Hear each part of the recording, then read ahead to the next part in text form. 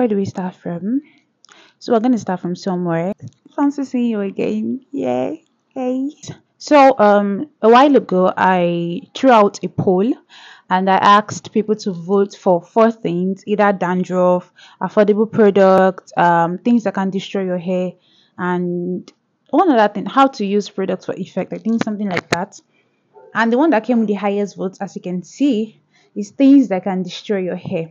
So if you're part of the category of people that you've been growing your hair for a while, but you're scared that one day you can wake up and then your hair starts breaking and one thing or the other, yada yada yada, then keep watching. This video is for you.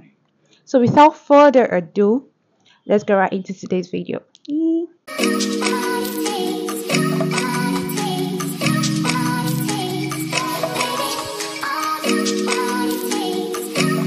So in today's video, we're going to be looking at things that can destroy your hair things that can affect the growth of your hair. So the first thing I'm going to be talking about, which is like the most important thing on my list is moisture. Lack of moisture. Now, the black woman's hair generally is seen as a very strong hair. Whether you're in the three categories or the four, our hair needs so much moisture. When your hair is clarified too much because of the kind of shampoo or products you use, we're going to get to that. It can take out the moisture in your hair. But besides that, you have to keep moisturizing your hair in order for your hair to do what? To grow properly. And so the doctor will always advise you drink blah blah blah water, liters of water in a day, which so many of us don't keep to. But it's very important to what to always use water in cooking, in baking whatever thing we use water, and that is how important our hair needs to be moisturized. So you can moisturize with water. You can moisturize with your hairspray. You can moisturize with a leave-in um, strengthener, a leave-in conditioner. So whichever. But one thing that is very important is that you should always moisturize your natural hair. At least not less than three times a week. You should always moisturize your hair and always put your hair in a proper way that it will be easy for you to moisturize. The second thing on our list we're going to be looking at is over manipulation. Too much fondling, touching. I always say this thing. When it comes to natural hair, I like your hair rest too. When you always fondle your hair, you always play with your hair, you're always packing your hair, we always touching, even combing the hair, you're combing it as if you're in the hair, you are fighting. Ah, your hair, it will just be breaking. It will cut our kind of hair that we have in Africa is not kind of hair that you're supposed to be touching every time. You need to allow your hair to rest, honestly. Let your hair rest. Even washing your hair too often, like it means that you're disturbing your hair too much. Just let it rest. You don't have to wash your hair every week. Don't let anybody deceive you, please. Because when you have to wash your hair, you have to accept your hair is in its protective hairstyle, and then you your kind of work you have to be in the dust probably every single day. Then probably you can wash your hair maybe every two weeks or once every week. But say you work from home or your house wherever you work, you don't even meet dust like that, you're in AC or whatever. Why are you washing your hair every week? Why? Why? You have to take down your weave, you have to wash it. No, please don't do that. So stop over manipulating your hair because too much of fondling of the hair can cause breakage. Number three is trimming. Say you go in every single time you in fact since the beginning of the time you start your natural hair, you've never trimmed your hair even snake self they shed skin. Your hair does not have its own skin but that end is like this is like the dead part of your hair. It's the oldest part of your hair and so you have to shed it. You have to cut it. You have to let it go. So you've kept your hair from the very beginning and you've never trimmed your hair. Like don't let anybody deceive you and tell you that you don't need to trim your hair. Ha! Hey! Ha! I'm not going to talk too much. But they are lying I know a lot of people are doing hair care and whatever, but you must trim your hair. I don't mean you should trim your hair every month. Get me right.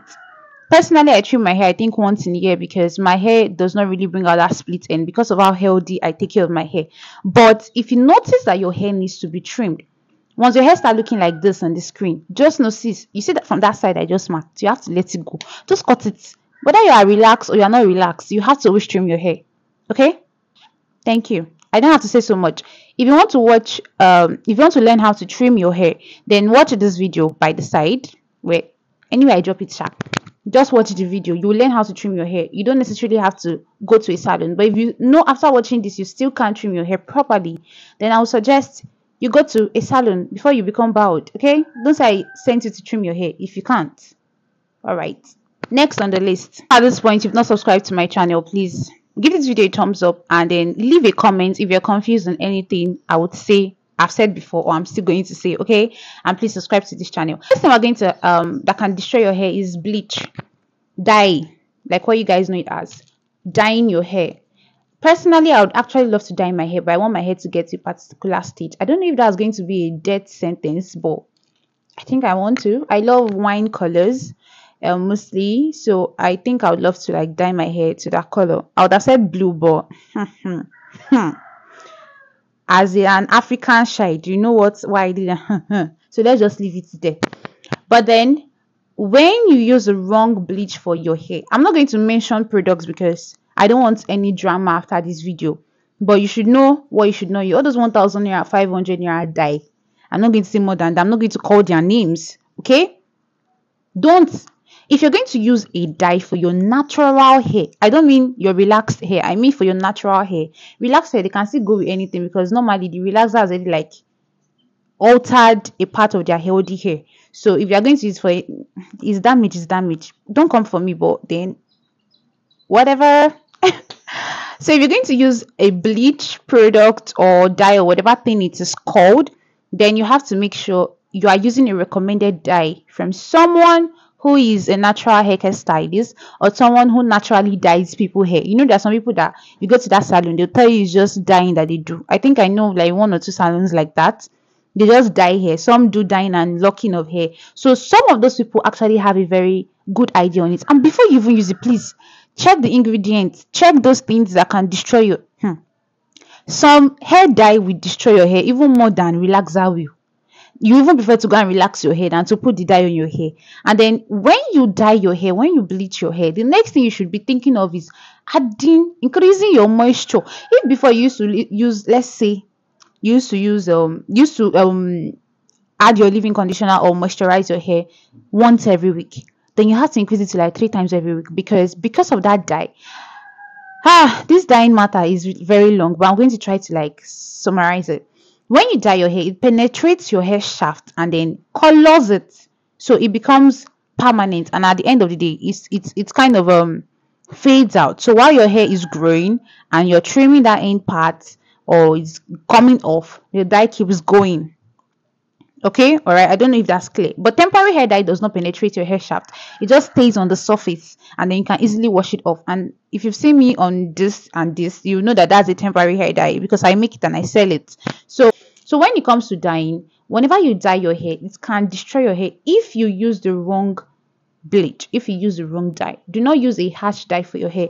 Make sure you check the ingredient properly. Make sure it is recommended by a hairstylist or someone who dyes hair a hair dyer hair dyer a hair bleacher. Whatever that means. Just you understand what i mean. Next on our list is medications. Now this medication thing eh, I've tasted and seen, I've seen it because my elder sister has been going through some kind of, she has gone through surgeries like two or three times. She has gone through some kind of health issues, both um, her eyes, she has um, glaucoma, glaucoma, glaucoma, whichever. She has glaucoma and then she has, she's battling um, PCOS and not just PCOS, some, some other stuff like that just in one body, but she's a very strong lady. In fact, recently we've been in and out of the hospital, and she's also on a natural hair. In fact, she started her own natural hair. I think is it a few months before I started mine, or I think a year before I started mine. But her hair is her hair is long. At least when I started helping her grow it, it started it stopped breaking and whatever. But the speed in which the hair is supposed to use to grow is not there, despite the whole natural treatment and whatever I use for my hair. It's working for her hair, but not fast. Get me? Why is that? Because of medications we we kept going around i kept on doing researches trying to see what i can do differently to help her. But then the only thing i could conclude on at the end of the day after so many research and whatever and we sat down to like analyze everything was the medications. There's some kind of really strong medications you use. It might not be everybody but some kind of health um, um, um issues you might go through. And then like i said i only mentioned the ones i could mention. There, there, there are like some other things she still go through. And she has to take medications for some of them and honestly, people that have um, health issues are strong. The fact that you have health issues and you're still going is is is really like I don't know how to put it, but they're really trying. So those medications and everything affected the hair growth. And you know, when it comes to hair growth, it's not just about what you apply on it, it also comes from the inside.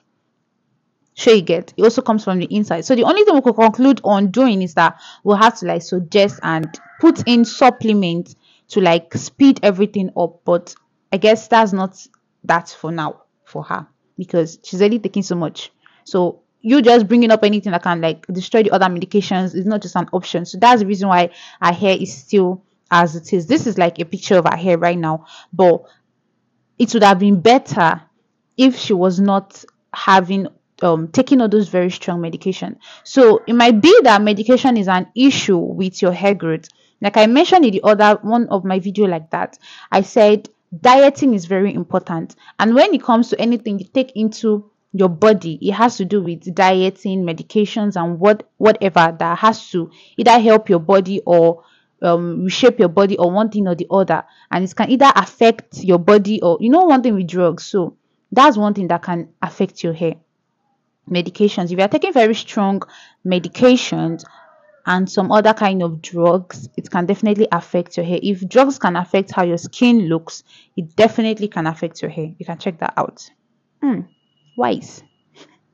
So on to the next point. Next one we're going to look at is postpartum if i'm correct. I don't know anything about that line but i know i've met so many people that complain to me while they are pregnant or when they give birth there's some kind of effect you have after childbirth not everybody goes through it but some people go through and i keep praying to god god let there be an evidence that i'm serving you there should be a difference because i've seen a woman that after she gave birth she went bald like she went bald. It took her months, like I mean months, for her to recover after childbirth. Like not her entire hair, but like her front hair was gone. Not because she was plaiting. A, lot of nursing mothers or people that just give birth, they don't have time to plait their hair. Oh. So it's not even that one. The hair would just kept on pulling.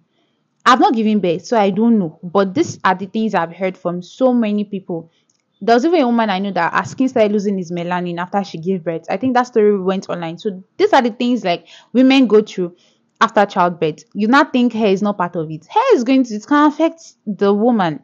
So there are so many people that have complained of hair loss after giving birth. So if you're in that category, just exercise patience. Keep um using good products on your hair. Do not overlap your products, okay? So it's actually cool okay i can't say much on that but i just know that it is something that is unavoidable for some women. So if you find yourself unfortunately or fortunately in that position then don't worry too much. You actually bounce back. You will. With the right products right herbs and spices right hair routine you will definitely bounce back. Since something cost it okay.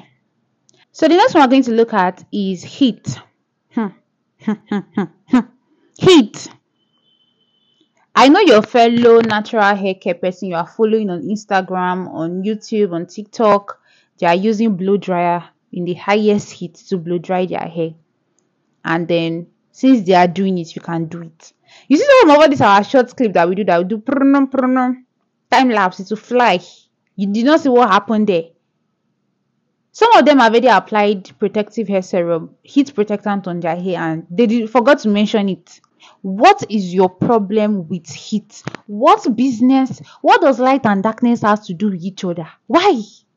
We're trying to keep moisture on our hair, and then you are carrying. It's a different thing if you're using heat cap to help your um what's it called your conditioner penetrate into. There is something on your hair to penetrate. That's the purpose. But say you're carrying blow dryer, hair straightener directly to your hair. Please don't do that. Never. I'm not going to talk more than that. All what I'm just going to tell you is stay away from heat. Ah, uh-uh. is Nigeria already not too hot for you? Please. So the next thing we're going to be looking, the second to the last thing is the wrong product. Oh, like I said, because Desire is using Mega Growth, because Desire is using Shea Moisture, because Desire is using TCB, I should use it. No, darling. The product I'm using is different from the product you use, except you have my kind of hair. If I have a high porosity hair, the kind of product that can work for me is not the product that will work for a low porosity hair. Some of the products might work, but not all. Low porosity hair is a problem for their hair to retain moisture, and so they always have to moisturize the hair. High porosity hair is not always like that. It's easily moisture enter. If it's medium, good for you. Anything works for you. Life is easy. So find your porosity and find products that can work. Okay? if at all you're still confused about it one thing I, one day i'm going to talk about this hair type thing and we're going to go into details and i trust god to help me to explain better in a way that we can all understand. Honestly if at all you don't still understand this porosity thing and hair type whatever thing i would just suggest just try our product. For crying out loud when i started my hair journey i knew nothing about hair. I tried. I started with miracle. I started with so many some other products, not too much, but I was lucky to like find out to just stick to Mega Growth because like it was easy for me. So you might be very favored and try out some. It does not have to be expensive. May I go for affordable, please. I beg. The day we have money to buy expensive, we buy. After all, some of even these expensive products, some of them don't even work for my hair. Some of them will not work because I've tried that one like that. In fact, the person brought it from the abroad, and I honestly after the I even left the shampoo for my mom because uh, so just try out things and it's not about how expensive it is. Try out products. Don't let anybody push you. Find out these things yourself. Research, okay? That's what internet and our phone they are there for. Last but not the least, and you see this one. Hmm. I'm going to keep shouting this point everywhere to the moon and back until people hear me well. You have to hear hear what the spirit is saying. Tight hair what does light have to do with darkness? What is your business with tight hair? Do to pay people money to to to put yourself under? Please, if you go to Yabaraka shop and then she's not Yabaraka, sorry, don't be vexed though. But if you go to her shop and then the hair is tight, sure you will not lose it, ni. If she's even placing the hair there and it's too tight, my dear, leave it. If you're a guy watching my video or you're a girl watching my, please, if you're a guy that wants to grow your hair, don't do tight hair. I understand that men are strong. Don't go and use ego and put your hair inside problem. You can take the pain. It's not about taking the pain. When it comes to tightness, stay away from it. I've always said it that when your hair is tight, it gives your scalp injuries. When those injuries are there, it's a problem for your hair to come out properly. The time your hair will use to grow, your scalp is trying to recover. Why are you giving your hair so much issues? All these things are avoidable by going to the right place to make your hair and you know that it is needed okay it's still on. So please whatever hairstyle that is tight ghana weaving is always my number one on the list because your front hair will go you have injuries you have boys stay away from it. If you are going to make kiko like this blue hair i made that i showed you the other time then it should not be tight. Make sure it is free. It should not be tight. These are the kind of hairstyles that can actually like pull your hair or you're making braids. So people when they're making braids for you man you're not going to for them for you to even pack the hair, even if it's not less, you will not hear what for like two days because your head will be ringing bell. So anything tight hair, please stay away from it. I've been ranting and if you've gotten to this part of the video and you can relate to so many things I said, please leave a thumbs up. Give this video a thumbs up. When you give this video a thumbs up, it helps YouTube to recommend the video to other people and you're not just going to try to learn alone, okay? Those are free informations that I need to go to a lot of people so they can stop doing the wrong thing. So we mentioned um we mentioned heat over manipulation, wrong products, tight hair, lack of moisture, bleaching, medications, postpartum, and we also talked about trimming. So if you are guilty of all those things I mentioned, please stay away from them. Just you can. Mm? You can. It will do you more good than harm. No harm at all have a good news. So this coming week of April, we are going to be going into a hair care challenge. So I'm going to be posting more about it. I'm going to upload a video to talk more about it. I'm also going to drop a link so you can drop a you can so you can join a group chat that can help me monitor everybody that wants to be on this challenge together. So it's going to be a three month challenge, and I'm going to be dropping um, remedies and products, recommended products. We're also going to talk about hair types and so many things, so you would know how to keep your hair um proper. So if you have wigs in your house, please gather those wigs because we're going to be on protective hairstyle, and you can style your hair out or you can just use wig. So it's just going to be easy for the next three months. So if you if this sounds like something you want to be part of leave a comment. Like i said one of my goals in this year is what? To grow a very long hair to grow my hair long and to also help others to grow their hair long. And yes i'm going to i'm working on that goal right now. So i have everything down already or everything set. I'm just waiting for you guys. And the next video i'm going to probably not the next one but i'm going to drop a video and i'm going to talk about it okay Fancy seeing you again. Please subscribe to my channel, leave a thumbs up, leave a comment. I really love reading your comments. I'm not tired of replying, okay? If you want to comment five times, no problem. Just give this video a thumbs up. Love you. Bye.